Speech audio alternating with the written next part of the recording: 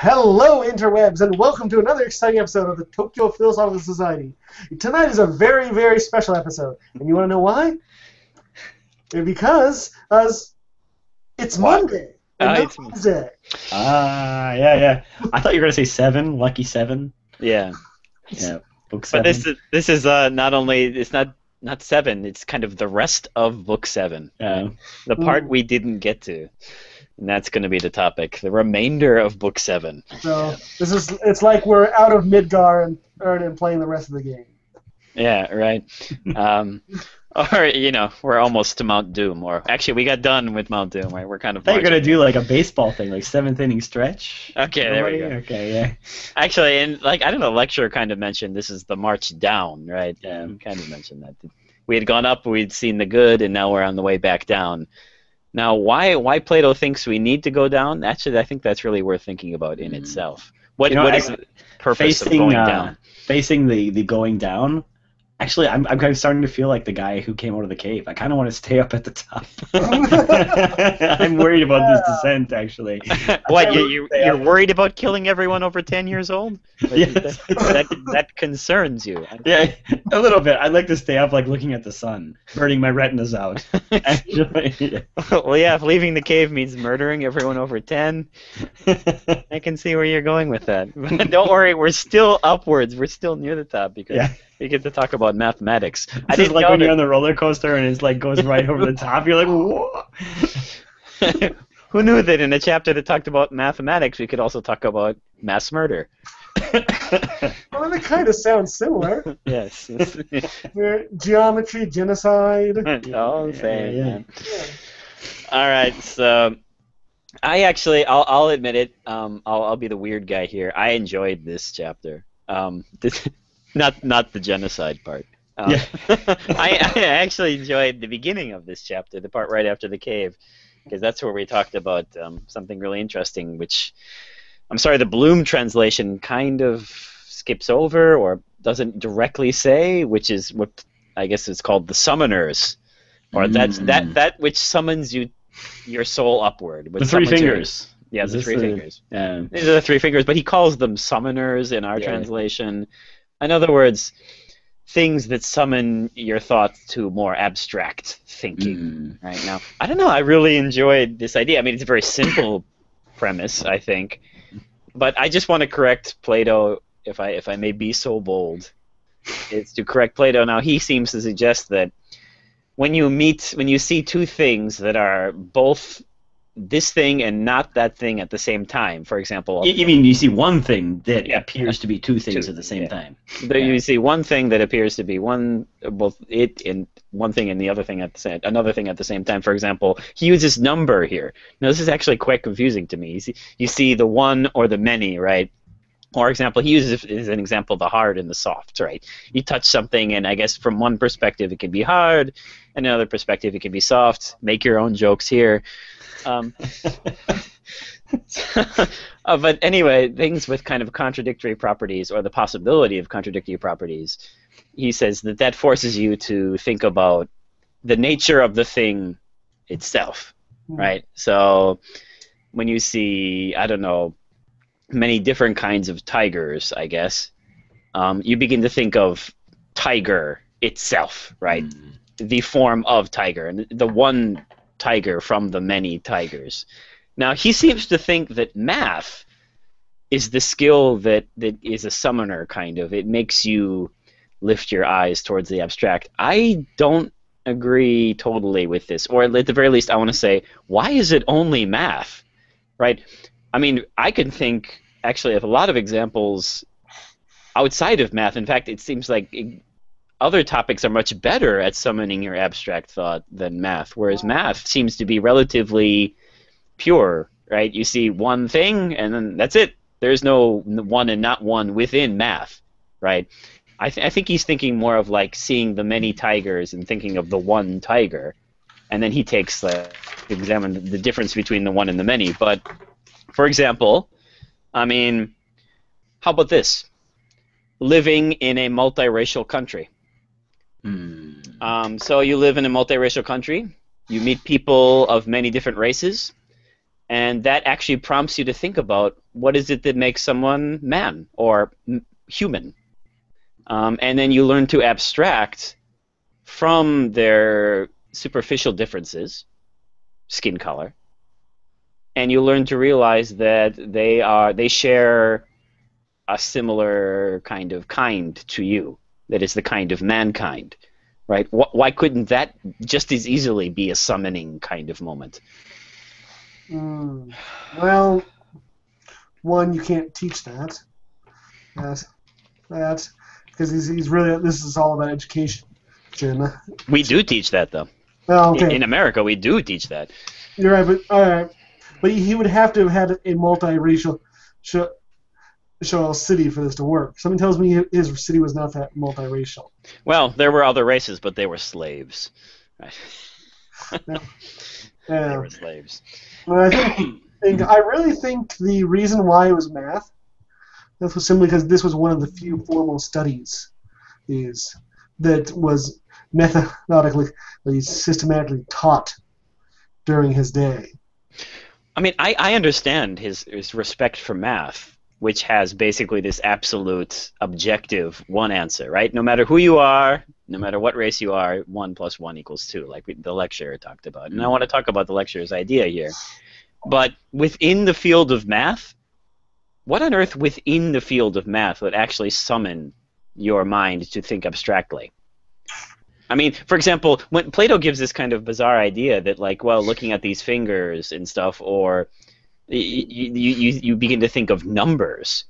Really? Do you think of the many? You think of numbers when you start seeing finger? I think what he thinks is you see three fingers, and then you think about finger itself per se, right? Or the many tigers leads you to the one tiger. Well, that's yeah. I guess that's kind of numbers. That's what I was gonna say. Like, if I were defending Plato right here, although I kind of see where you're pushing this, I just want to see if you push it more. Like, what if in your example I said like, yeah, that's all cool, but like I'm gonna be Plato here for a second, but yeah, um, the reason you can do that is because of number. Um, which is like, in other words, you live in a country with many races, and you you think you should see one man, but you see two different men, but there should be like one thing who is which is man. Like, and then you gotta in your mind, in your you, it calls to your intellect. You see two, like a white guy and a black guy, and like you you see two when there should be one, which is man. So then you gotta like break these two back down to one by making a more abstract concept of man, which is inclusive of both races. Yeah, I, I, I don't deny that math can be part of this. I'm just saying, why is math the only? For example, what about hard and soft? He uses that example himself. That has two qualities, and it should be one quality for one thing because reason doesn't allow a contradiction. I'm just gonna just gonna be a Plato man. I'm gonna be annoying. I'm just gonna be really annoying right now. Um, It's because how can something be both both moving and standing still at the same time? yeah. So clearly, the yeah, this, this is the whole the argument that led us to the tripartite soul, isn't it? But I- Yeah. I, I kind of see where you're going with this, Dustin. I kind of like where you're going with this more. I kind of it feels like it's so limiting when you bring it to math. Like you could easily just just as easily like paint a picture that Yeah. like questions like your daily your your, your everyday assumptions about. Well, what- For what is- example, how about this? Duchamp's fountain. Mm. Um, he put that toilet out there as a piece of art. Okay, so that was what? It, how how about that as a summoning moment? So there, you're forced to you, you're s- you're showing a piece of art or someone that's something that doesn't look like art, and you're told it's art, thus making you question what art is itself. Doesn't Well- that lead you higher and abstracter, I more think, abstract? Think though we're forgetting a, a condition here. What's the condition? Are we forgetting? I mean, because it had when he's going through his study his studies, he's and when he's teaching his guardians, means there's two conditions. Conditions. One, it summons to a higher level of intellect, and two, it's useful in war. Oh yeah, I, I know. Um, that's his. That's for his intellect. For that's for his guardians. Yes, but um, why aren't the? I mean, when we talk about this, the the work of summoning, in other words, summoning to the abstract, Well, I do admit that. I, again, I have a problem with him saying that they have to be useful for war. I I, I, I, I don't see how on earth that is any different than having a practical use. So I'd like to hear an answer about that from Plato himself. Yeah, those stupid money changers using using math to do practical things. We should be waging war with math. Thank you, thank you, General Plato. But um, that that sounds like an awfully practical use. Now I think he's thinking about using numbers in a kind of way to make technology, which is not just counting. I don't know how many zenny you got that day or how many rupees you got. So you're using numbers more abstractly, but that certainly doesn't seem like you're studying numbers for the sake of number itself. It certainly sounds pretty practical, if you ask me. That's uh, because it's that's the uh, spirit. That's not the desire. You see, so we're, we're waging war in order to defend numbers against Yeah. the, the evils of I don't What the number munchers? The number munchers. The number munchers, exactly. There's like they're on the outside of the fence. Right? They're waiting to get in. We need to wage war against those Yeah, other I, things. I don't- number. I don't see why the war aspect is any less practical than than the commerce ex- aspect in some ways. Well, Um, like for example, when he talks about generals counting armies or something, I'm like, well, how is that any different than counting rupees? Um, He's obviously abstractly counting them. Look how beautiful it is that my armies are divided in this way. yes, I. Uh, so I don't. I don't. I mean, like, I think Plato is. He was very Greek when he said that. He's like, yeah, we should basically be using math to think about the abstract uh, properties of the universe and uh, waging war. Um, that's why we get the f- expression from Plato to NATO, right? I mean, this is this is really is the, the origin of that. I, if anything, I could the best I can say for Plato there is he's thinking more tech technology, right? Using ge- geometry to use a kind of abstract technology. I don't know. But I, I- I, don't see it. I don't see the reason. Yeah, all I can think is that he says, okay, me, there's lots of these summoners out here, there, but our guardians they have to be philosophers and warriors. There's so uh, of all of these these summoners, uh, there's perhaps your art. Art might be one he would consider. The ones we're going to let our guardians use as half are useful for war. Or that has us starting with math. Yeah. I mean, he's, Probably, you know, it's it's not a good argument. I admit, it's not a good argument. I think that might be the argument, though. yeah, I don't like that. Yeah. So, I mean, like, I do like, I do like this idea. I just want to Mm. change. I want to change his idea a little bit. And first of all, I want to say that math. Okay, you kind of got me when I'm like, well, yeah, there's there's two things or many things I'm reducing it to one thing, which seems, I mean, like, okay, yes, I am reducing the many to one, so you kind of got me there. But within math itself, that surely doesn't happen, right? Within math itself, that this When I see a two, I'm so freaked out. I'm like, that's two ones. That's got to be two ones. Otherwise, like my mind will explode. That can't be a two, really. it's, is made up of multiple ones. Okay. Well, you remember in the Tractatus where Wittgenstein made it all one plus one plus one. Plus one, plus one. Yeah, okay. yeah, so yeah, uh, you think this is what he's thinking about when he sees like when he talks about math and then this kind of two, but within math do the numbers have two different properties? You know what? Like I, uh, You're using numbers to explain things in the world that have different properties. Yeah, I think that's what that's what he means. This in the world thing, right? Yeah, because the, the numbers themselves are, are, you know, the form of number. mm, They're, they're just completely pure and indivisible. Also, it, I think we'd only have one. can I can I make a like an alternative suggestion to the n- number like era? I, I think I just weird. I just feel like number just doesn't work well. What if what if I just said what if what if Plato somehow could had a machine that could see the future and he said, oh sorry, what I actually meant was the uh, principle of individuation by Schopenhauer. Oh, okay. I like that. Uh, that's that's what I meant. Um, and uh, so in other words, like uh, you know, when when you see like one things are things are not one, they're they're two because they're divided by space and time. But like then then you have to work out how like their and identity works together. Remember in the in the, in uh, World was Will presentation, he talked about how like the principle of individuation is broken sometimes, and that's when people talk about ghosts and stuff. you remember that? Like he said, like this is like this is this caused you to like believe in eerie things like ghosts and spirits.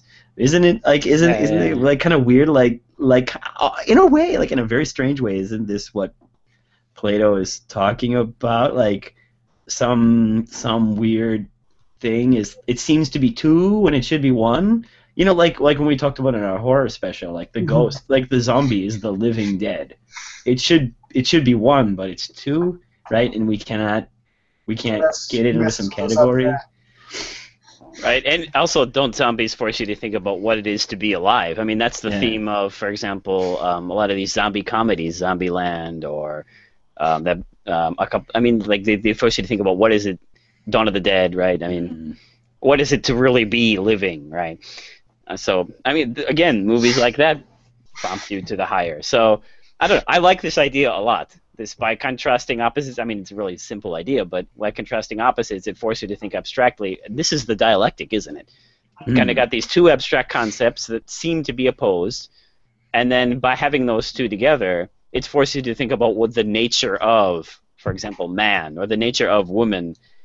Um, Plato kind of uses this argument when he talks about the equality of men and women, Mm. right? Um, he abstracts them to the point where, well, being a woman is just simply a secondary quality, Yeah. right? Um, so, taking this idea and then moving that onto the lecturer's idea about math as a community. Can I do this quickly and then Sure. So he, the lecturer said that math was a great sen- was a great kind of form of community, Mm. and he, he explained it by saying that, well, when you have a math problem, it doesn't matter who you are. Um, if you're black, white, Asian, gay, straight, lesbian, doesn't matter. You're always going to find the right answer. So in other words, you can have this kind of group of people of of different origins working together to solve a problem that every one of them has equal access to. That kind of reminds me of computer science class, by the way. Um, Well, I could not solve some of those problems, by the way. In Yeah, computer science class. well, some of us didn't have equal access to those problems. Yeah, yeah, yeah. I guess So- I'm compiling and It said error. yes, compilation error. Um, so, I, I mean, okay, I like. It's an interesting idea. What if I were to say, and this is something that uh, one of my own kind of ideas I like to kick around. I think that's what the state itself does. I mean, this is the power of the state. Okay, what the state can do is to abstract people and give them rights based not on skin color or secondary qualities, for example, even sex or sexual preference, and give them rights and protection based on um, a kind of abstract idea that they are human. Right? This is the principle of our idea of equal rights. Mm. or like, um, I guess I don't know how many states have actually moved to that level. By the way, like, it, I- Not I many. think America gives the rights because you're American, not because you're human. Right, but Yeah, because you're a citizen. yeah, yeah, yeah. But cl- Yeah. I, I'm assuming like we're working to get closer to that level, right? Yeah, I guess that would be. I mean, if I was a kind of conservative, I might kind of say, well, if if if you don't want to join our community of equality, then we can't provide you with the same rights because we don't rule the world, right? Mm-hmm. I mean, I I guess if, if I was this kind of weird statist, I might make an, an a kind of argument like that, right? I mean, mm. for for example, if I was a weird conservative, and I, I might I might partially be, but I, if I was this weird conservative, I'd say like, okay, I'm not going to give anyone dual citizenship. You're either part of my state or you're out, Mm. and um, I'm going to say, well, but but I can promise you this. Um, no dual citizenship, but I promise you that everyone's rights will be honored, um, not dependent on sexual preference, uh, race, or, or, or anything like that, um, gen- gender or anything. I will I will create a state where everyone is honored simply by the fact that they're human. Um, but if you insist on keeping a, a dual uh, citizenship with a country that basically favors one race over another, you're not part of our little team here because equal rights don't exist. It's something we all pretend exists, right? By abstracting. So, Mm. and and, and to let to let a kind of a, a secondary community, for example, like the professor talked about how in college universities, instead of creating kind of like this this equal place where everyone can be together and solve problems, we've simply created a different set of studies for different people. Like, well, there's there's lesbian and transgendered studies, there's black studies, there's Asian studies, Um, instead of creating a place where everyone can be together in the state, for example, how about what happened? How about what happened in France? Um, or is is happening in all parts of Europe and Japan too, where they're like, okay, well, there's this area of Japanese people, and then there's this zone of people that are not Japanese that don't even have Japanese citizenship, right? They're they're kind of citizens of Korea or China, but they're just kind of in these little zones. They're in these small pockets of, of, of foreigners in, in France, right? That that exist kind of on their own, and we're not going to incorporate them into the whole of France we're just going to leave these little mini nation states within our nation state. And if I was a conservative, I'd say, no, you have to eliminate them.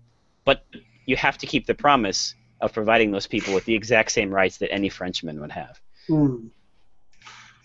Yeah. I mean, isn't that part? Isn't that our principle of equality? That's what we do. We abstract every pos- possible principle, and, and well, we try to.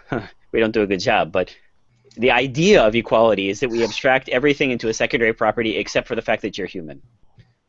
That's what we're doing, I think, and that's what this is. What would you say? Like, what? if- What? What if? What if? Like, my crazy kind of uh, some crazy liberally standing guy approached you and said something along the lines of this. Um, kind of hippie like kind of guy. Hippie, not hippie, post hippie. Um, he said, um, actually, uh, what makes people equal is the fact that they all have some unique quality. We're equal in being different. If, if that sounds strange, if, the, if, if wording it like that sounds strange, in other words, that we we each have our own unique contribution, and that's how we become equal by each being allowed to make our, our unique contribution. I would say to him, not everybody has a unique contribution, and are you condemning those people without unique contributions to inequality? Mm. Yes. And then I would also so say, uh, okay, and how do you realistically expect me me to, to give equal uh, protection to people based on different abilities? I mean, we do try to do this, though. I mean, that's the idea of multiculturalism, Mm. right?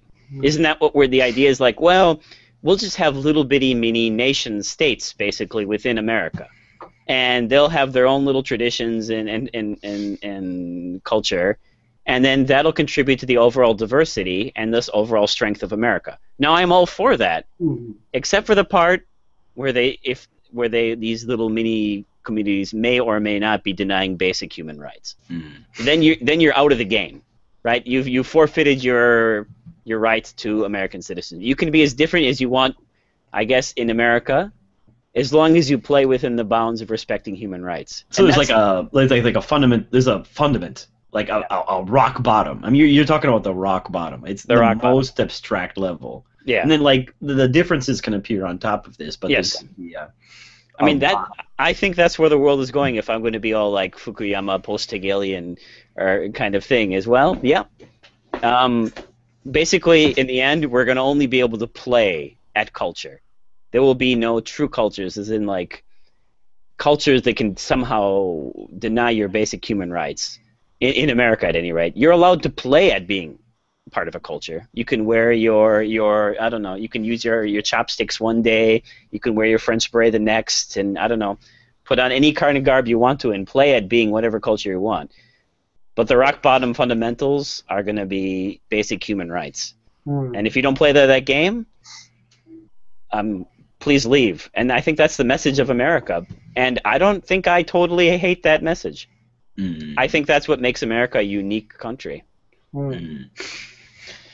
I guess we in that case, if- when you're talking basic human ri- rights, you're really meaning basic, like like Ten Commandment type stuff. Stuff. Thou shalt not kill. Yeah, I mean, this level basic. I mean, I- like, I wouldn't. I don't know. Ten Commandments. Most of them are not. Okay, all right. Funda- ri- rights, but The good commandments. the good Yeah, ones like don't the kill. two, the two in there. Right? Don't- There's like a whopping two. That can actually See? use- but yeah, yeah. Yes. The two Yes, the two commandments. commandments. The two And- commandments. And thou shalt not, not uh, carve graven images, and thou shalt have no God before me. Exactly, those two. Those are the ones I was thinking of. Because the other ones are really meaningless. I mean, I, I don't. I'm, I'm. I might be wrong about this, but I've always felt that this is basically one of the fundamental doctrines of the United States. Hate it or love it, Mm. right? We've kind of abstracted from all these different parts of culture to the point where we, we really, it's almost impossible for us to have per se. We do have a culture, but it's kind of a so-called quote-unquote universal culture, right? These universal human rights are our basic, maybe perhaps our culture, what we call universal human rights our, our, our kind of culture in the world. And if we found someone inside the United States, a group operating within the United States that systematically denied basic human rights to people, we'd have no problem eliminating them, and we have in the past. Um, v- with force, with, with extreme prejudice, we've done so. So, uh, I yeah, I I'm gonna come out against human rights. Oh no, sorry. Oh, okay. Um, but I, I just I guess I guess there is one one last thing I guess. I mean I, I see what you're saying and I like what you're saying a lot. I guess the the, the, the final point to be made would be um, it's very very easily arguable that there are groups of people who do not large groups of people who do not support what could be considered fundamental human rights. I mean, if you consider universal health care a fundamental human right, you'll find a vast swaths of people who are against that. So the final part of my agreement is that the people that betrayed, that have betrayed America and have betrayed everything we stand for and are, are the Republicans. They Mm. are the ones that want to take our country, which is based, I mean, okay, this might be an illusion, but based on a universality of humanity, right? That abstracts from everything that is secondary and particular and goes to the straight human core and allows us to be to have these fundamental human rights. The Republicans are the ones that are betraying us because they want to make us a normal country. They want to make us like every other country in the world, which basically favors one particular, per se, racial group or sexually oriented group. Um, they are the they are the ones. They are the betrayers of our ideal, and I say to those people, traitors. Mm. Read your damn books. We have lots of books about this stuff. And of course, we all know like the the model for the fundamental human being is Jean Paul Sartre's uh, man. Oh, of course, of course. Yeah. Okay.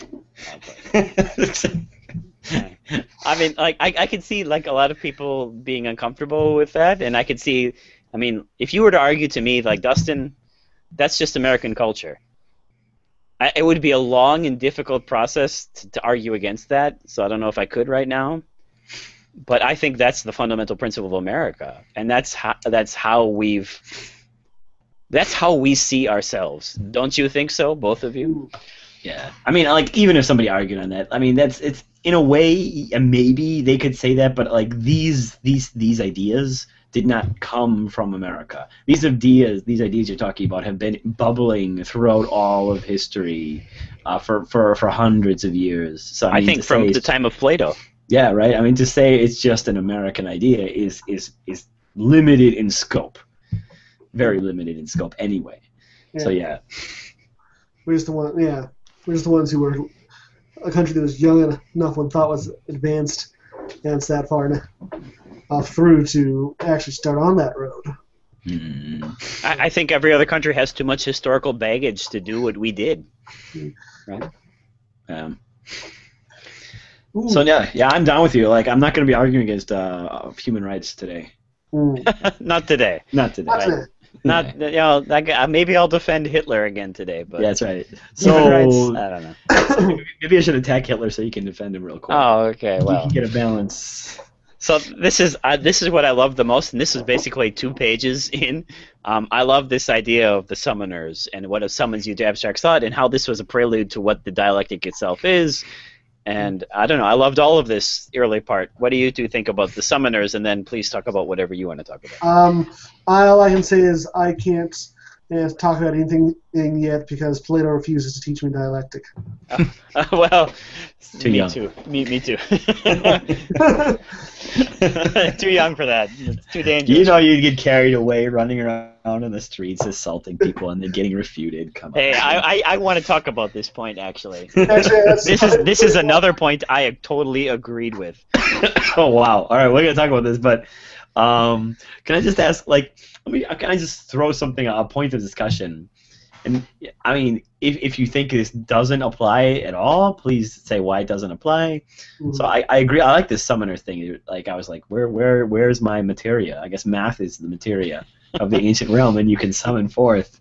You summon forth in the intellect for you know your materia attacks, but um, so right, you you experience this moment where you see the opposite or something it could be its own opposite or it, it, you can't know you know what it is your intellect is summoned to, to sort out r- raw experience if you will. Um, Didn't didn't we talk about that with horror movies too? yes exactly right. I mean this is kind of this is where i took it and i mentioned this already but like well, what do you think about this? Like what if like you know a good old david let's bring in david hume for a second.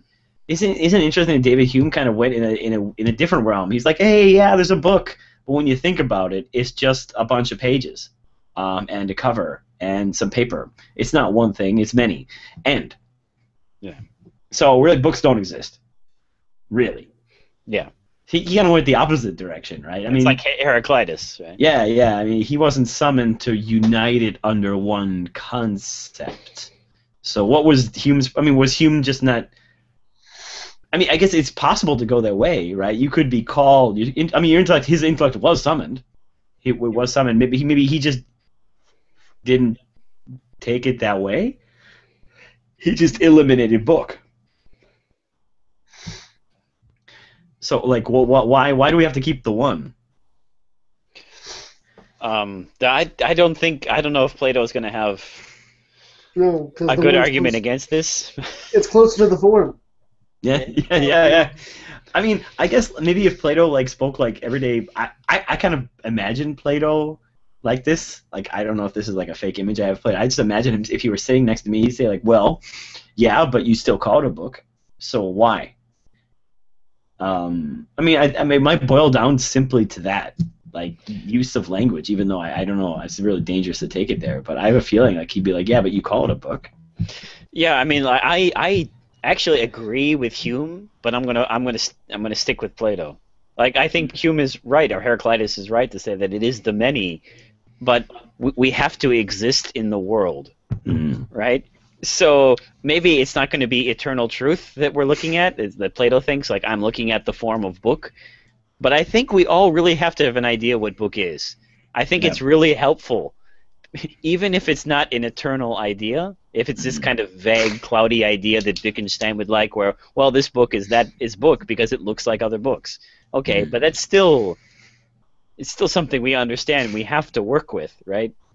What, I mean- what if I were to take it like in this way too? Like, what what, do, what would you think about this? Like, maybe the book is like on some level, um, many, like it's atoms and pages and covers and things like this. But you know, what what if what if I was the Plato guy? It's like, no, the book is made of pages, but what the book is is not what ex- what it's made of.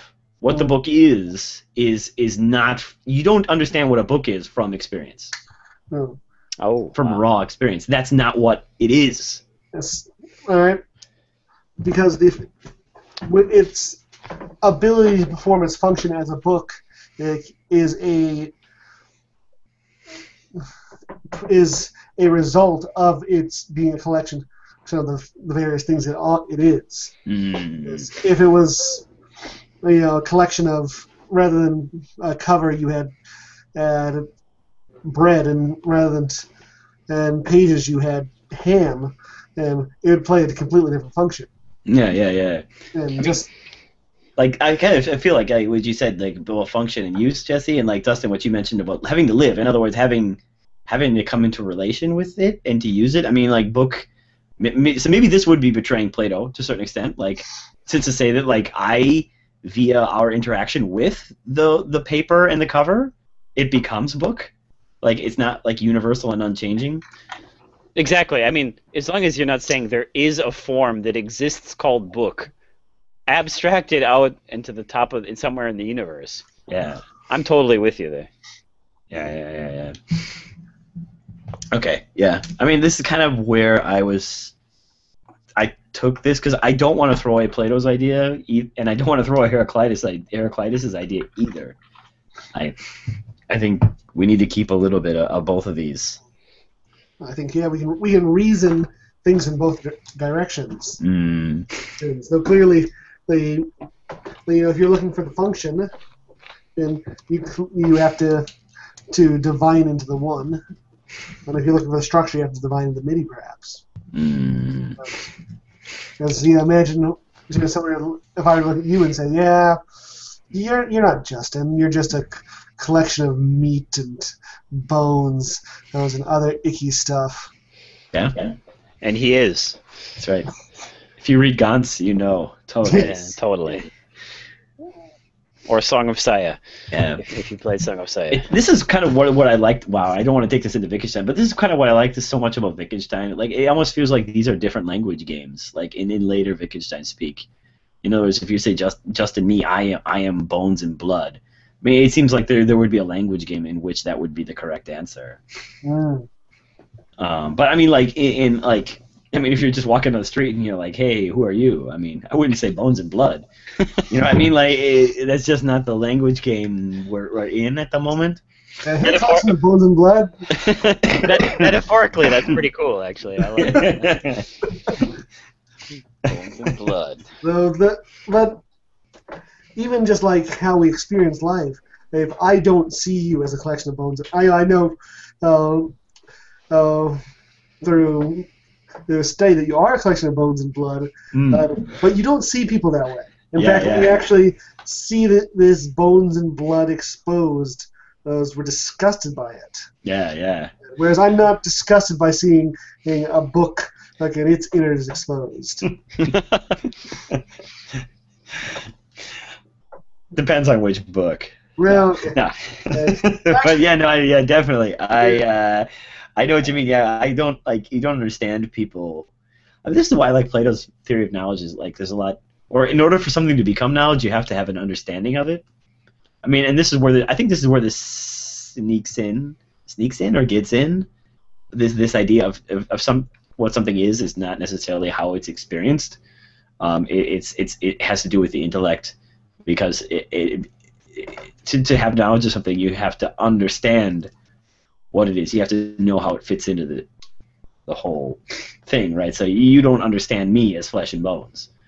I mean, normally, unless unless we're in a in a class about like medicine, right? I mean, even then, you probably wouldn't, right? Yeah. I mean, unless it, I'm a, a homicidal murderer. yeah, right, exactly. or or you're or you're you're like writing guns. yeah. Uh, but that that's all I had for the first one. Like, yeah, I like I liked how it kind of like it reminded me of like horror, maybe like in, in a deep level. How like it, maybe like when I have three fingers, like when it's just these three. No, it's these three fingers. Uh, when it's just these three fingers, like it's not at the level of horror yet, but it, it could you could easily move it there with something like The Living Dead or corporeal, incorporeal, ghosts or something like this. So what is a ghost? I don't know. Uh, I know how you kill them. Uh, With bullets. wow. Wow, wow, wow. All right, next point. Okay. All right. Uh, I believe after this we get into a long discussion of the kind of studies that the Guardians have to learn, which is Mm. mathematics, geometry. What is next after geometry? he Um, actually flies over, or, and he says there's something in between, in in geometry and astronomy. yeah, the, the third dimension, right? there's like and- harmonics is in there. Yeah, then then astronomy and then harmonics. Um, Yeah. I don't really know, have much to say about this, um, other than I get what he's after. Again, this kind of universal answer to Mm. problems, right? But he's not studying it for the sake of learning specific things. He's studying it for the sake of learning general things. Again, I just want to no- notch Plato down one little peg and say that well, that's that is precisely why science is relevant. Science is relevant because it's not particular, right? Hmm. Um, science is relevant because it works in different occasions. It's because it works because you can repeat the experiments. So, notched down a peg, I like it. Hmm. I have nothing to say about all this mathematical discussion. Nothing at all. Me too. Um, Nothing. Yeah, I'm just thinking where, yeah, where's trigonometry? that wasn't invented yet. Yeah, yeah. I like how isn't it cool how he said like the third dimension? We haven't even gotten to figuring that out yet. I was like, wow, it's it's they haven't figured that out yet. That's that's awesome. Anyway, wow, that's that's a long time ago. Anyway, um, then we get Of course, yeah, if you go to Akihabara, there's still people who haven't figured that out. no, no, no, and I think gladly, I think they would say, um, I think I think they've gone from the third dimension to the second dimension. Uh, Some- it's, it's some- some even to the first dimension.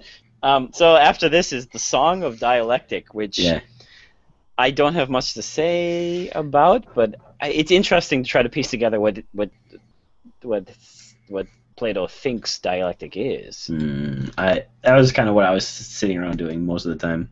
But didn't you think just generally, just on a very general level, like the tips, the things he talked about learning, uh, the dialectic? I think there's generally good advice. A free man ought not to learn any study slavishly. Um, yeah, right. I mean, when you're forced to read Lord of the Flies when you're in high school, it doesn't stick. You read you read Lord of the Flies when you get out of high school. It's a really awesome book. Um, don't use force. Use play. Play with the kids. I mean, it's just good advice. Play sticks. Um, kids should learn their stu- how their studies relate with one another. Then it sticks. I mean, that, that I mean that really does. I mean, that's just generally good education advice.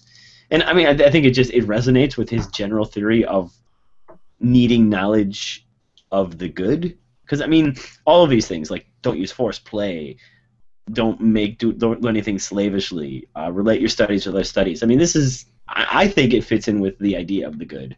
In other words, like I mean, if you're forced to learn something, you, you just kind of you memorize enough to get by. At least that's what I did, right? If you really hate it, you're just like, oh God, what do I need to know? Okay, this, this, and this. I mean, you don't you don't move from correct belief to knowledge in Plato's sense because you don't make the effort to understand it, which means you, you don't make the effort to, to incorporate it into your world, which means you, you don't see it in the light of the good. You don't apply reason directly to it. And I, I don't know, I just liked in general how, how Plato's theory of the good fits in with, which is general, I think generally good advice about how to study. Yeah, I, I particularly liked. I think of all of them, what I kind of feel is really important is how what dialectic is supposed to do is bringing out associations between your fields of study. Mm. I think that really does affect your feeling towards education. Because I think when we when we grew up, I, we both kind of felt like education was kind of like a game show Yeah. where you kind of connected Mm. but when you start learning, like even interstudy things or philosophy, which connects different areas of study into one kind of big system, even even areas of study you didn't think were interesting at all suddenly become fascinating, and you can see how each one of them relates to each other. I don't know. That really makes education stick with you. Hmm. Um, I, know, I like that. Yeah, that's the only way you survive Plato's harmonics class, by the way. So yeah. Day fifty-seven of harmonics. Yeah, you're like you you learn learning harmonics for like ten years, and you're like, well, what can I do with it? Don't you dare ask that. Don't you dare. Look how beautiful harmonics is. What are you talking about? oh, I guess I, I guess you don't have a gold soul. I mean, like, I guess the one thing that I, I, I understand, I get it, but it, it seems tricky is this idea that dialectic can survive all refutation. Uh, which um, I, I get it. Like, you have to be able to articulate what you understand, which is a very good idea. Even actually articulating what you understand can actually lead you to further understanding about it, and you can actually become clear about even your own contradictions. However, sometimes you can lose to a well, a, a, a person who's good at deceiving or, or at clever at, at making logical fallacies, which is actually another kind of lesson. Um, yeah, in general, you kind of you, you want to believe that your argument can res- can survive all refutation. I think. Yeah, yeah, yeah. Um, what what do you think? Uh, just just give me your I want to just throw this at you, by the way, about the, the dialectic. Tell me what you think about this. Um, maybe I was thinking way too much about Schopenhauer as I was reading today this week this book. But so maybe Annas pointed out how like seemingly, maybe not not so, but seemingly Plato has two visions of the dialectic that seem to com- contradict each other. So he has this number one. He has the vision number one, was where you need to give and receive, give and receive an account of the object of dialectic, and you have to be able to say what each object of study really is. So this is something articulate. You have to. There's conversation. There's verbal exchange. It's, it's dialectic, right? It's, it's conversation.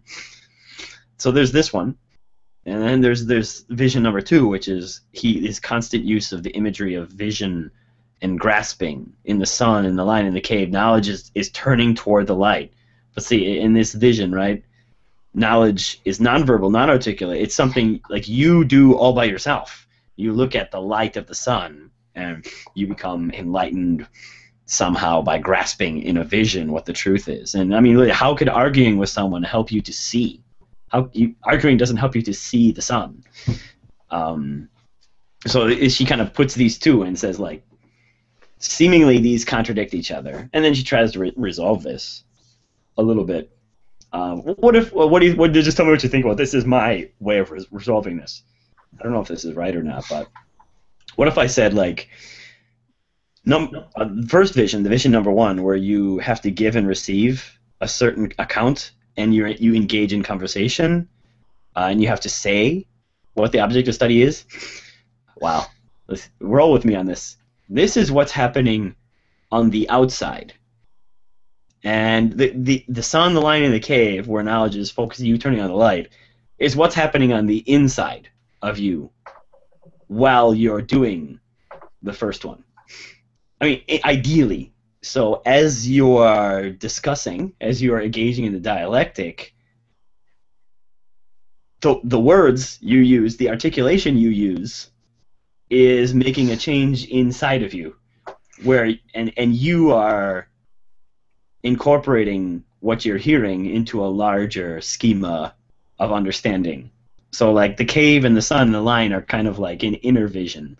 I guess wow schopenhauer. I guess it'd be like the will and the dialectic in the conversation would be the representation on the out happening on the outside of you. What do you think about that? Would that do you, do you like that? Do you hate it? I don't know. I like it. Uh, I uh, I kind of saw it as there's um, what, through engaging in dialectic with someone, you know, you're articulating your point, points, you're ha- having this this back and forth, and in this back and forth, there's you know, you're kind of each throwing out. If you're both practicing dialectic properly, Mm. you know, in other words, having a civilized conversation, you're slowly advancing the conversation to the right end, and Mm. end, you know, the, as you two are, you know, you, you two are bo- are on the boat in the form of this conversation, which is being s- being sailed towards the truth with it, this proper dialectic was kind of how I saw. it. Mm-hmm. I like that. I, I kind of, I was kind of, I have similar vision. What what would you think about just like the metaphor of the cave? I mean, the guy in the cave is all alone. He's looking at the sun. Mm. You know what I mean? Like, like how should I say it? It so maybe like somebody got him out of the cave. Uh, yeah, right. The guy tapped, pull, pulled him up, and, and pushed him out of the cave. Mm. But like he's outside and like he he has to do this, right? He has to do this. He has to start. He has to get get ready. He has to prepare himself to look at the sun. Just like ear- early too, like Cephalus and the other guy, Polemarchus, have to have an inner understanding, even if they're right sometimes. If they don't have this like inner understanding, yeah. they don't really get it, right? I think is one of his points. Yeah, this is kind of this is where I was. I want to take this like somehow like the good is here, right? Like knowledge of the good is is the, is the incorporation. Maybe so. Maybe we're engaging in dialectic, and maybe everything we're saying is correct. We we could say we could just say a mountain of truths, but it it, it, it would just turn out to be like Cephalus and Polemarchus. I mean, if it's just like I'm just repeating memorized sentences, like the, the that's not knowledge for Plato. Anyway, it's, it's I, I haven't Mm. incorporated this in, in, into my scheme of understanding the world. Right? It, it would just be these like arbitrary outward truths that I just repeat back at you. Mm. Yeah, so I mean, hopefully the conversation would do that to me, right, Jesse? I know what you mean. Like the Yeah. conversation would get me too on the inside, be like making these connections. I was kind of like my, my only last my actually my last point here was going to be like this. Yeah, right. I mean, and Annas brings this up where how Plato writes using dialogues because in dialogue, um, ideas are she says ideas are given a point, or, or maybe like in conversation you are called on to answer in a way that you're not called on to answer in a book, right? In other words, you have to engage and you have to incorporate your answers into a larger scheme. And you can't just sit back and be like, "Yeah, give me the knowledge, bro."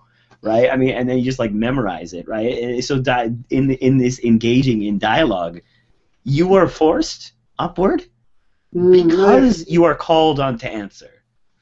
Yeah, because as if you're you're just passively observing, and you're not actually, you know, poking holes at your own worldview. I could say, say, yeah, yeah, that's right, oh, that's right, that's right, I agree with everything. And you say, yes, yes, what you say is very fi- fine. Just lead. Mm-hmm. I am one who wants to listen. So, a very long preamble for, for one who wants to listen. So, so man, Glaucon's an idiot, but uh, um, or at least he's not very active in the conversation. Yeah, yeah. But And like, don't you think, just in general, like, don't you feel just apart from Plato, leaving Plato out of this, don't you feel this is intuitively true? And in, like in what we do in in in in this, like when when you talk about what you're thinking mm, and you have to answer questions about it, like I feel it sticks so much more with me. Because yeah, actually, this I don't want to bring in in Ozawi Ozawi and dualism too much here. I haven't talked about it recently, Oh, but but because you oftentimes you don't even really know what you think. yeah, yes, I totally agree with that. Totally, yeah. You know, I maybe maybe in this conversation, I'm surprised my own own uh, response. Perhaps even, even Mm. surprised, shocked.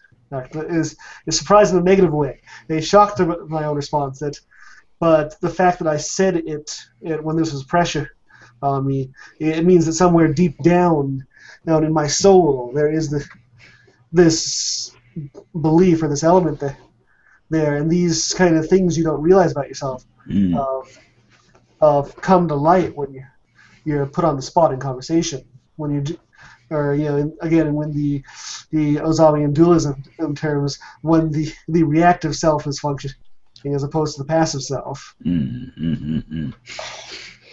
I, I totally agree. Yeah, I I like that a lot. I mean, you don't really know what you think sometimes until you engage in some kind of dialogue, some kind of conversation, some kind of active pursuit. Right. So that kind of makes knowledge almost kind of like an exercise. Yes. Mm.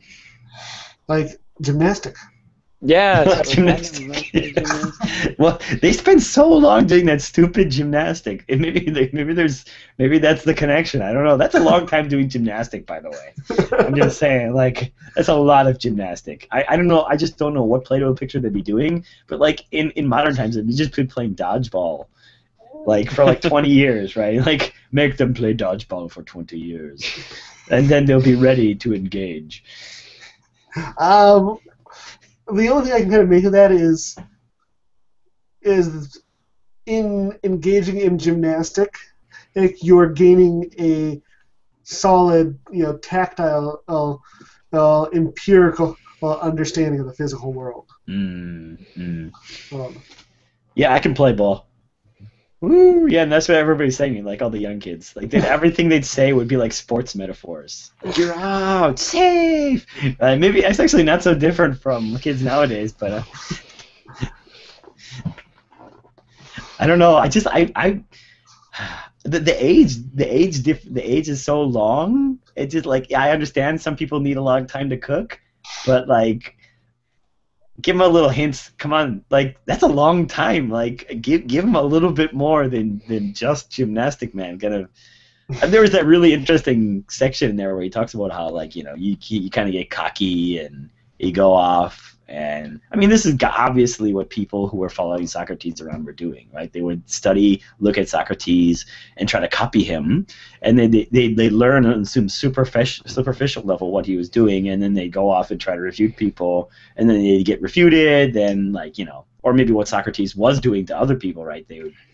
I mean, they almost remind me of Kaufmann's Decidophobia, like you get refuted and you're like, well, screw it. I don't know what what's true anymore. So I'm just gonna do with I'm just gonna believe whatever makes me feel the happiest. I could totally see that happening, but I mean, I, I just feel like I I would have started teaching kids a little younger how to reason Mm, than yeah, I he was, does. though it, it was kind of uh, there. I thought there was a little bit of a sinister undertone towards it, to this dialect, no dialect until you're 30 thing, because he's like, okay, you know, these people, well, they'll go out and they'll, know, ref- be refuted, that, and they'll be refuting things just for the fun of it. I won't know it's true anymore, and then they'll just do whatever the hell they want to, to. But there, if you remember the metaphor that goes into this, is he said, you know, what if, you know, somebody who, you know, they've believed in something, thing, up in their entire lives, then it gets refuted, and then they just are like, okay, fuck it, I'm lawless, less now. I have no, law, you know, I don't care for anything, thing, thing.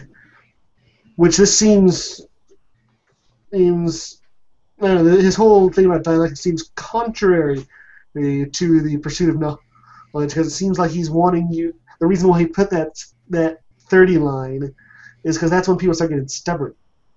Mm. So once you, you know, oh, the, the what he doesn't want them to to get refu- he, don't, he doesn't want to get refuted and then have them give up on is the you know, the noble lie and the justice of the city. Ah, that's interesting reading. It's So like a, a more cynical reading, but yeah. Yeah, so he's afraid that if they're starting to discuss too early, they, might be find a way to refute this. And so Mm. that wouldn't be good. So once they're 30, the- they're just to, you know, their line of conversation at the city is going to be like, so the city's just right. Right? Yep. Okay, I'm glad we proved that dialect- dialectically. Let's move on. I kind of, in a weird way, in a really cynical way, I kind of get Plato's pessimism about young kids. Like, you, you get people who believe stuff without having thought it through, and they think they've refuted the whole thing, the whole shebang, when actually there is a lot more thought going on behind than they ever realize. But I don't know, Dustin. You said you wanted to talk about this age gap thing, didn't you? Yeah, I don't know. I'm I'm with you in like teaching. I think kids should learn how to reason, and most of all, kids nowadays need to learn about um, how, how to do media criticism well. Mm. Right? That's the that's the most necessary skill they need, and they're not being taught how to how to rationally and calmly look at what the media is doing to them or the messages that that it's giving them. I admit that. I guess I, I guess the only thing I can say is I understand Plato's cynicism because don't you think the culture of hate on the internet, the, this this culture of hate. I mean, there's there's a there's a legitimate I think culture of hate on the internet, and the reason for that is this very reason, uh, that people kind of feel that they don't. If they try to stand up for something, they're going to get mowed down. Uh, S- So basically, they're like, everything sucks, man. And it becomes this kind of, well, or they see a really good critic, for example. They see a really good, interesting critic, for example, Red Letter Media. And then they decide that they're just going to copy him and just, just willy nilly call everything stupid. Whereas Red Letter Media doesn't think that for a minute, right? Um, they have a more subtle, nuanced vi- vision of movies and cinema, right? And if you actually watch his, his Half in the Bag series, right, you'll see that if you don't have a proper understanding of where he's coming from, you take his, his thoughts and ideas too seriously. You think that he's totally dismissing everything. And th- these people kind of take this surface reading, which is why they need to learn media criticism, most of all. They take a surface reading of his critical analysis and they just basically go on to criticize everything and say, well, everything sucks, everything's stupid, right? And then you get a basically a just kind of a, a universal culture of hate on the internet.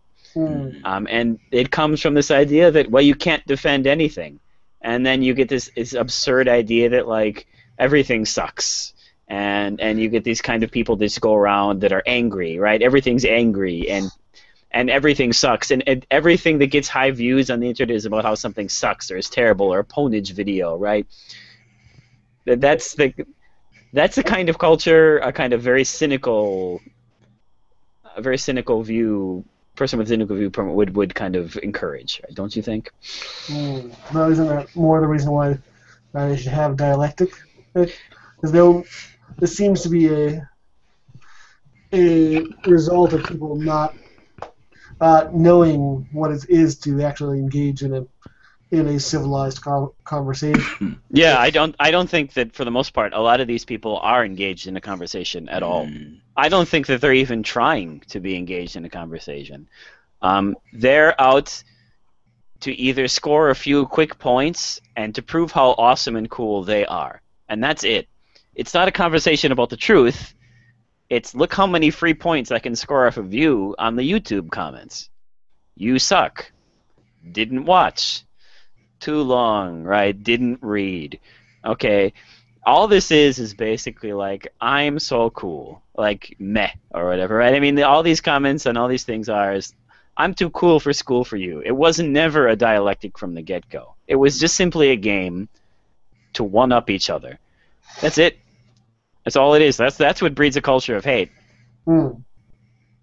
But perhaps if they that if they had been taught the the value and necessity and the practice of dialectic, that perhaps perhaps they would have found a different way to do this.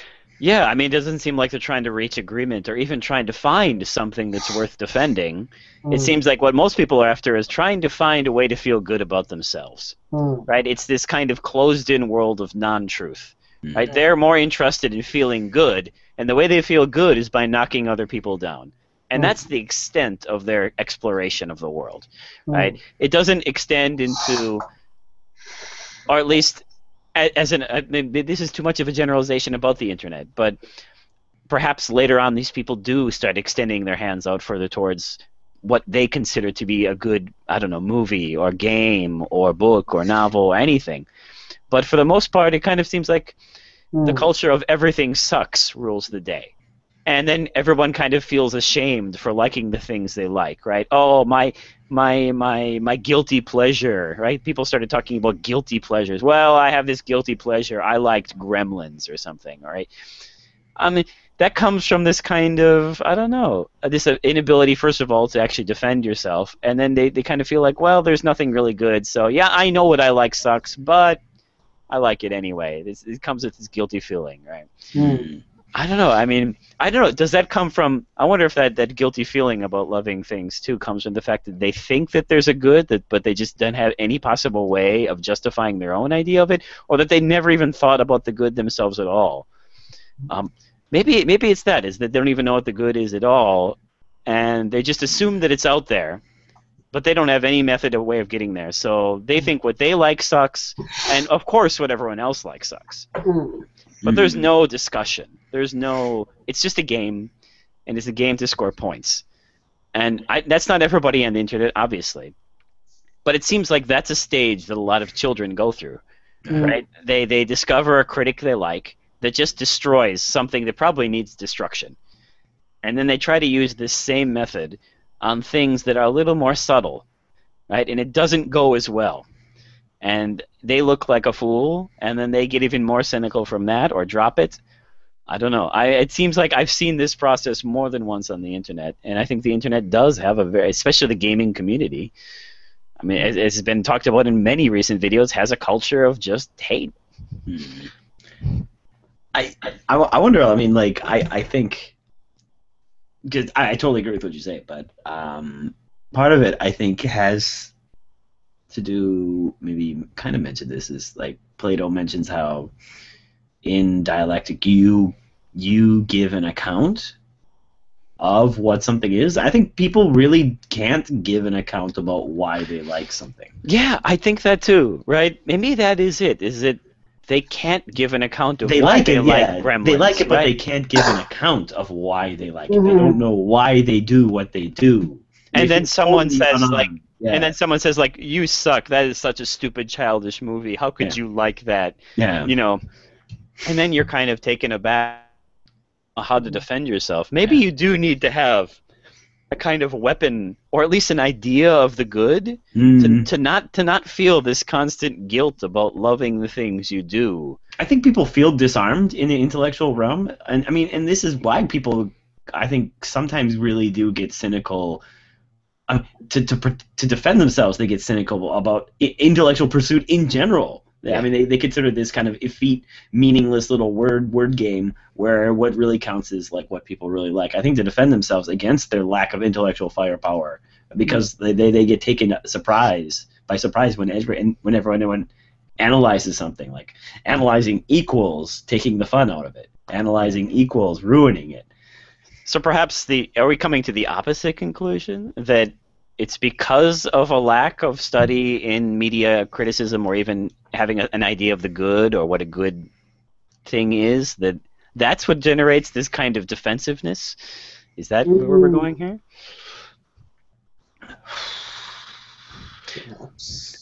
I mean, there there is of course the. I mean, I I do think what what the, the Socrates says is right in general in, in young kids that they do try to copy, or Plato says they do try to copy maybe Socrates and they get refuted and they get frustrated. Mm. But maybe in general, when when you when you're made to feel guilty about things you like, I mean that. That, that is also why I do think about the things I like, and I'm ready for with answers as to why I like them. Now I don't know if that's a good way to live or not, but I, I think it does help me kind of better see what even I'm about. i really yeah I'm, i have a really difficult time imagining what plato is thinking here about like these these kids who are not getting the dialectic. So i mean obviously some of them are going to think about this stuff right? They're going to ask these questions. What They're I mean- not prepared for them. Yeah. Yeah, I mean, I, the the dialectic probably it will happen. It just because people are talking. No. Yeah, uh, well, I mean, but there are people that don't believe that philosophy is even useful at all. It's True, not. It's not. It's not even worth talking about. If, for example, even what's good or not. That's Yeah. just useless. There were some crazy Athenians too. Yeah. So yeah, that's what They're they're out there. The cynics are out there. Yeah. I mean, that, that's not to say that everyone is. I actually think that, in general, people do have an idea, but it's basically a, an idea handed down to them by, I don't know, the authority that, that is, which is basically the media itself. Mm. The media tells them what is cool, and then they just kind of bark that out.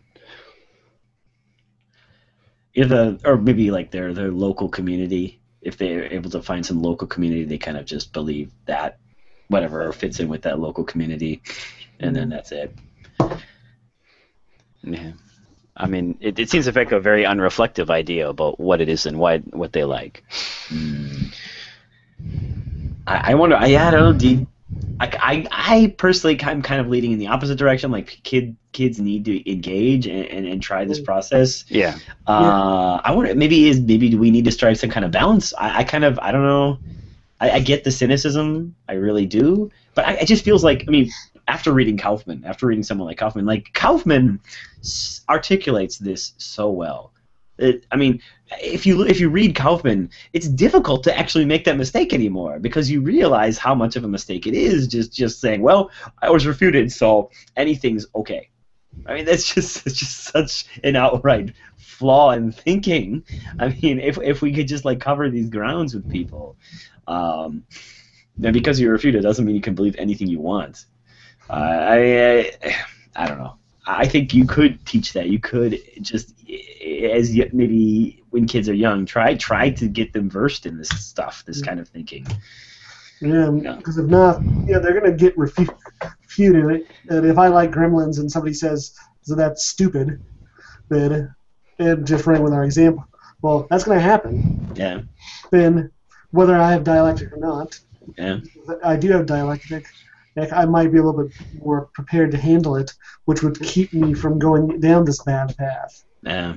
If I had realized that, you know, sorry, the guy who's saying that's stupid, that he's actually the one who's who's caused who has the logical fallacy going on here. Mm. Well, okay, it's not a logical fallacy. He's the one, but he's the one speaking from fallacy. See, and that his opinion is believing his opinion is fact. Mm. Yeah. I was trying to I get- imagine these fifty year olds, fifty year olds who know the dialectic too. Are they just not engaging with everyone else? Like I just sometimes I try to imagine like the city and like I for a while I was imagining like they'd be like they'd be like intellectual giants and they'd be walking around and like the kids would like try to come up with them and they'd just clean their clocks. But like the, the kids aren't supposed to be exposed to the dialectic. So like I guess they're silent towards these kids. So yeah, the kids would come up and they'd say, and they'd say, "What do you think about about love?" He's like, "No dialectic." Right. What is love? Did I hear some dialectic? it's 20 laps. That's 20 laps. That's more gymnastic for you. I, I think that's what it would happen. You have the dialectic police. You know, when we're growing up and going to school, uh, you know, everybody's like, like no swearing. And, and like I said, they'd be like, no dialectic. then, like, when you walk into a store and you're like you, the people hear you speaking the dialect, they do like an ID check, like when you buy alcohol. Like, sorry, sir, can I see your ID? That sounds like dialectic. Oh, you're over 50? Okay, right. We card everyone who looks up to 60 just to be safe, though. Yeah, yeah.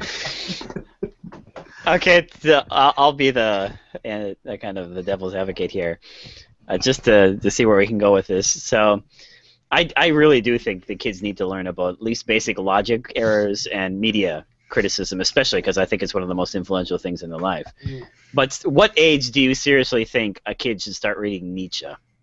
Three. Don't tell Uh, don't tell me you think a kid at, at 15 should start even reading. Not even 15 should start reading Nietzsche. Really? I mean, maybe they could, but what age do you really think they're going to start to understand Nietzsche? I mean, like, if I were setting up curriculum, um, we wouldn't get to Nietzsche until we've read the Bible, until we've read Plato, until we've read Kant, until we've read some Schopenhauer. I mean, I mean, read. I mean, I mean like read and thought about. I mean, that alone, it's like, that's that's years and years of reading. First. Uh, Yeah. I mean, don't you think a little life experience is necessary Oh, for yeah. Nietzsche? oh, definitely. Yeah, yeah, definitely. So, so what age would you recommend people begin to read Nietzsche at? Oh my god. I hate to put an age limit on this kind of Yeah, thing. it's uh, going to depend on the individual, of course. So you think Uh, ten year olds? There's like this ten year old who's who's ready to start reading um, Beyond Good and Evil. that would be hilarious. I mean, I, it would I, it would almost seem like a joke if he if he was reading it. Like to me, I mean, I I almost be tempted to say like, yeah, go nuts. I don't think you'll get anything out of it. Um, but Mm. I mean, at least wait till he's 15 or 16 before like in, in serious any kind of any kind of le- it can be engaged on in, in in any serious level. I would think, but Mm. Yeah, So the- philosophy too, too early, you can become the vicious philosopher. mm, I mean, there are these kids that go to the you know the atheism board on Reddit, and then they're like, "Oh, God is dead. I hate God," and then they go to these, you know, they go to those Facebook posts, and they're like, "My friend died." Like, "Oh, there's no God, stupid." Sorry. Well- my mom tells me I have to go to church. I hate that. I hate my mom for making me to go to go to church. I mean, like, yeah, yeah, yeah, yeah. like I mean, like I'm not saying that's why we shouldn't teach killed children dialectic, of course. I'm just saying it does happen. That's what I'm saying. Mm. They get, they get a little carried away. So I think maybe when you teach dialectic or, or philosophy, like it really, it has to be taught well. Mm. It has to be taught with nuance. I mean, what what do you think about this? Like, maybe can I offer uh, just a little bit more optimistic vision? I mean, like, like, I don't know about teaching it if it were actually curriculum per se, but maybe I would wait. I would really like lay out a curriculum that would allow for an understanding of somebody like Nietzsche. But I mean, just letting them read it, I think. I mean, I think you could, you could easily destroy their reading of Nietzsche really fast. I mean, is it? Do you think isn't that enough? You're like, you don't you don't understand the first thing about Nietzsche. Give me what you got, and that would be enough. No. Yeah, I, I, I do. I guess I that's why I think it. If you teach philosophy, it needs it needs proper nuance, Mm. ho- which hopefully you can get with a dialectic, right? Mm.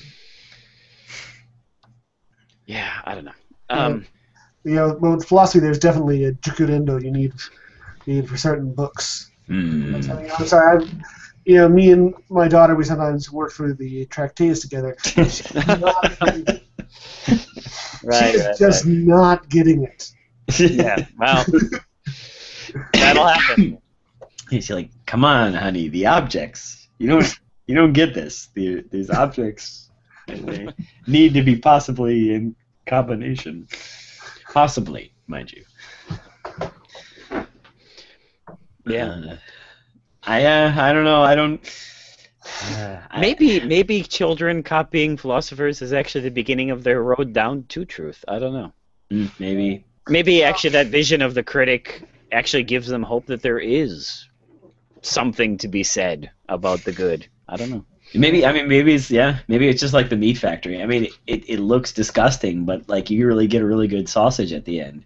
So I don't know, just just imagining it like it is kind of bleh. like imagining this ten year old cracking open Beyond Good and Evil. Nyeh. But I don't know, maybe maybe it had the, a good effect on him. Yeah, the only thing concerned be the sometimes once you you know same with once you learn something thing a skill skill it's hard to if you say you know you learn a judo uh, throw uh, incorrectly it's very hard to fix. Uh, and the same things go with you know, um, you know, if you watch a movie, and you know, you, even when you're watching a movie, sometimes you mishear a line, you know, and you remember it as that, even- even though you're watching it and you're hearing him say something different, your mind is still creating that that line as what you initially misheard it as. There's this concern that if people are not ready for certain aspects of philosophy, they will misread read things, and then they will be unable to shake that misreading. Mm. What What do you think about? I kind of like. Wow, when not you mention that, I kind of like where this where you're taking this. But what if I just said like in in in, in another way though? Like, what what if they're already listening to their their their their dumb parents who are telling them like really stupid things like you gotta you gotta get the get rid of the gays because they're ruining the, the Americas, the true Yeah. liberty of the Americas. I mean, it, maybe their their their parents' influence might be crappy enough. I mean, who knows? A couple lines, uh, you know, a couple lines out of Beyond Good and Evil, a couple pl- lines out of like David Hume's in Inquiry into Human Understanding, like that, man. It might be enough to actually like short circuit some of the things their the crazy crap their parents are telling them. This is actually one of the reasons I thought we need Hmm. maybe at least dialectic because they are going to have their parents and saying this shit, and if they're trying. You know, and some of these things, you know, the gays, the gays are ruining everything. And Hmm. This is pretty easily refuted. Yeah. yes. Yeah. yeah, yeah. So when, when these kids who oh, are just refuting things for the fun of it, which yes, they would do the, this, this Mm, they'll refute that, mm, mm, mm. Yeah. and at least they'll know that's not true. Yeah. Yes. So I, I just want to ask one last question then about this idea. So, um, so Socrates, you're going to hear suggests that it's dangerous to teach children philosophy because they're going to go off and, and perhaps I don't know what he thinks they're going to do. They're going to Be- refute become- the justice of the city. Yeah, they're going to Yes. refute the justice, become criminals or something. I Yeah, guess. yeah. Lawless. Um, lawless. I mean, I mean, as, as much kind of sympathy I guess I have for that argument is, you know, when I see pathetic arguments on YouTube, and that's the best sympathy I've got for him because it, they can. That's the best they can do. But doesn't this contradict his other argument that the greatest teacher of people are the the masses, right? They are the greatest sophists. Mm. I mean, like, and that that's the th- that's the same feeling I get with religious people. They're like, well, if you didn't believe in God, you know, I would just be out there raping every woman I saw. Well, no, you wouldn't. You would just be following the crowd anyway, right? I mean, because the crowd teaches you. Um, so you know, you're not this dangerous tiger. You're just a follower. So it's not as if religion's keeping you in check. I mean, how do you think that relates to his idea that the crowd is what teaches you and moves you? And the, in, I believe in that exact passage, he's like, "What can one philosopher do in the face of one crowd?" Right. Mm. Um, and then here he's kind of a little bit more hesitant about teaching young kids dialectic. Hmm. How do you think those two ideas match together? God. Actually, um, I, now you gotta wonder what his extent of dialectic is, because some people never get dialectic, Mm. and maybe he's thinking that if you take dialectic away from people, uh, you know, again, you know, the parents and and saying, yeah, the gays are ruining everything, and if he includes that under dialectic, like, then maybe that he just wants to like remove the ability for anybody who's lacks proper knowledge to even state an opinion, Mm.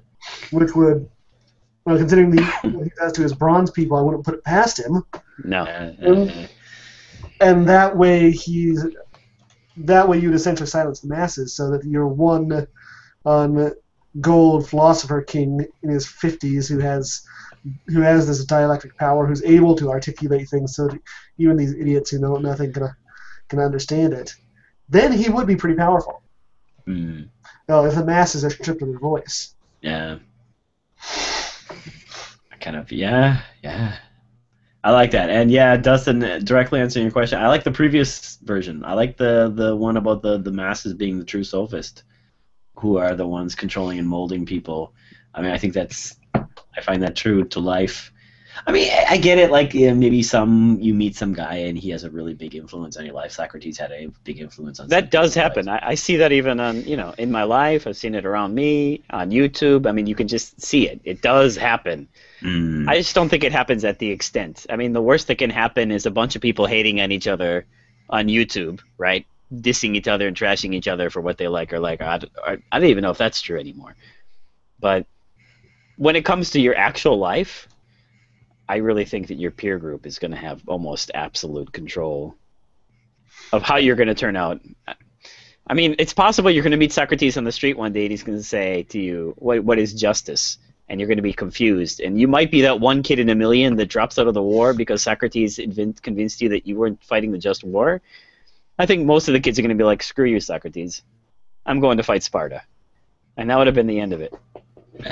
There wouldn't have even been a discussion.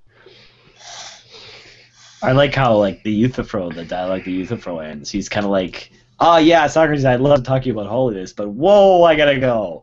Uh, Look at the time. Uh, yeah, I, I'm late for persecuting my father. yeah, I gotta go.